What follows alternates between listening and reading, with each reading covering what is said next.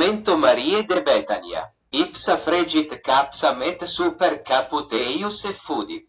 Erant autem quidam, qui indigne fereba intra se, dicentes, quid accidit tui unguenti? Potui teni hoc unguentum memi plus quam trecentis denariis, et dari pauperibus. Et murmuraverunt contra eam, Jesus autem dixit, imitte eam, quid tibi molestum est, bene operata est in me. Semper enim pauperes abetis vobiscum, et cum volueritis, potestis illis benefacere, me autem non semper abetis. Fecit quod potui, corpus meum pro sepultura ungere cogitavit. Amen dico vobis, ubicunque praedicabitur hoc evangelium in universo mundo et in memoria meius memorabitur. Marc 14, 3 a 9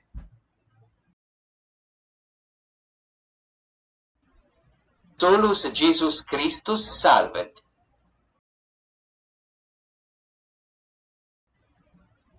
Ariet autem filium, et vocabis nomen eius Iesum, ipse enim salvum face populum surma peccatis eorum. Etiule eventuno.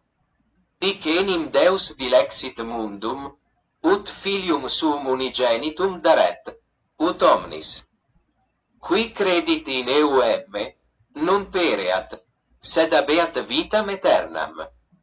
Ioan 3,16 Icitei Jesus, ego sam via, veritas et vita, nemo venit ad patrem nisi per me.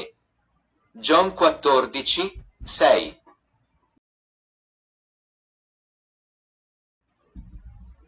Non est in alio aliquo salus, non est enim alio de nomen sub caelo datum in hominibus, in quo portit nos salvos fieri. CTS 4 e 12 Tradidi in vobis in primis quod et accepi quoniam Christus mortus est pro peccatis nostris secundum scripturas et quia sepultus est, et quia resurrexit tertia dai secundum scripturas. 1 Corinthians 15 Ea 4 Quo habemus redemptionem per sanguinem eius, remissionem peccatorum secundum divitias gratiae eius. Ephesians 1, 7.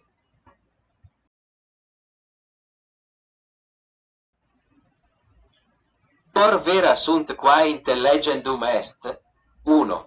Deus tantum te amat, etiam vitam in caelo cum ipso volo. Sic enim Deus dilexit mundum, ut filium suum unigenitum daret Domnis, qui credit in eu emme. Non pereat, sed abeat vitam aeternam. Ioan 3,16 Volo abere vitam et signification e emme vobis cum ille. Fer non venit nisi ut furetur et mectet et perdat. Ego veni ut vitam abent et abundantius abent. John 10 e 10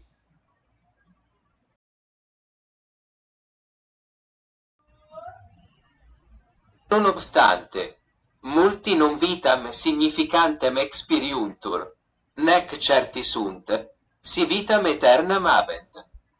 2. Homo natura peccat, proptere a separatur a Deo, omnes peccaverunt, omnes enim peccaverunt et egent gloria Dei. Roman 3, 23. Radix enim omnium malorum est cupiditas. 1 Timoti 6 e 10. Stipendium peccati mors. Stipendia enim peccati mors. Roman 6 e 23.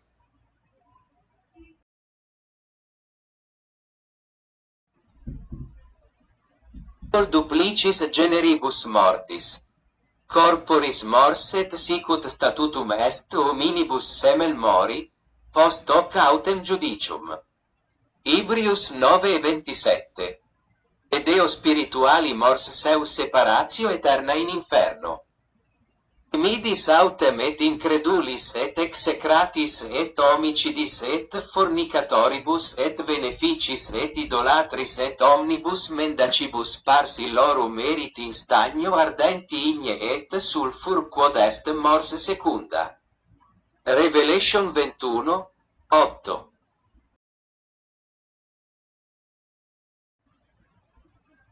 Od si homo separatur ad Deo pro peccaculis, quae solutio ad ant imblicem?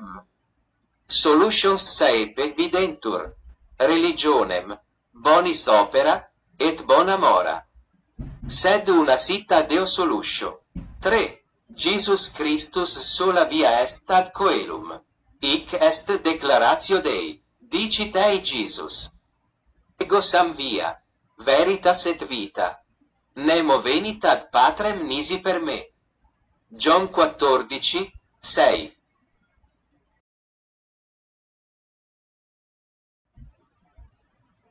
Peccatis nostris plenam poenam persolvit. Nam Namet Christus semel passus est pro peccatis, justus pro injustis, ut mortificatus nos ad Deum carne, vivificatus autem spiritu.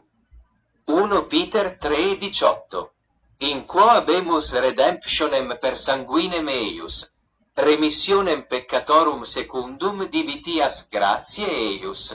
Ephesians 1, 7 Promissam vitae aeternae abet, qui credit in filium, abet vitam aeternam. Sed ira dei manei in eo, Ioan 3, 36, stipendia enim peccati mors gratia autem Dei vita eterna per Iesum Christum Dominum nostrum. Roman 6 e 23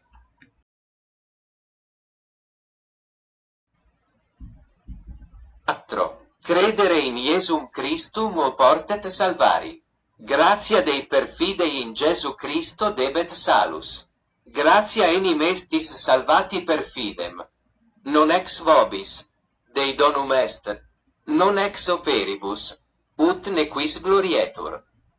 Ephesians 2, toa 9. Omnis enim quicumque invocaverit nomen Domini, salvus erit. Roman 10 e 13.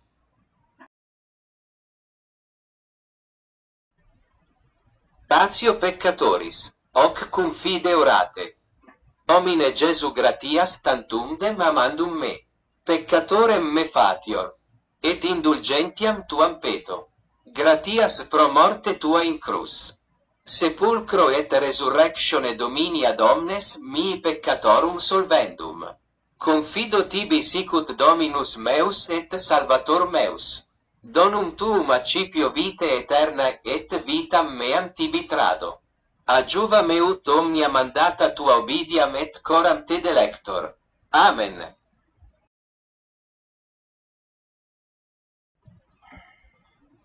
Didistis in Jesu Christo.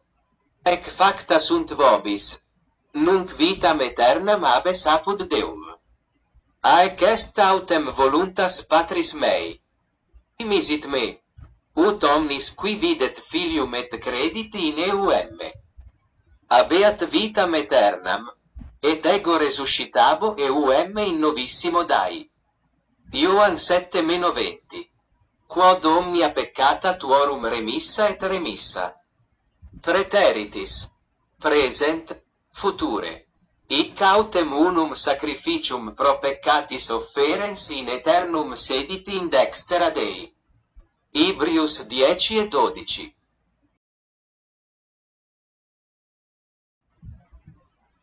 nova creatio in conspectu Dei. Prima vite novae tue est.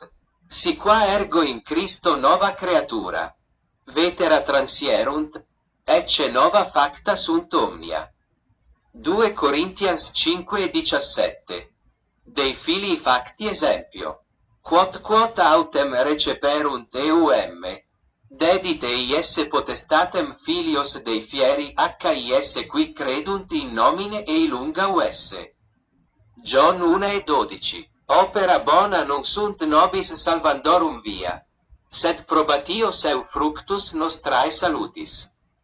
Ipsius enim sumus factura, creati in Cristo Iesu in opera bona, quae praeparavit Deus, ut in illis ambulemus. Ephesians 2.10 Benedicat tibi Deus.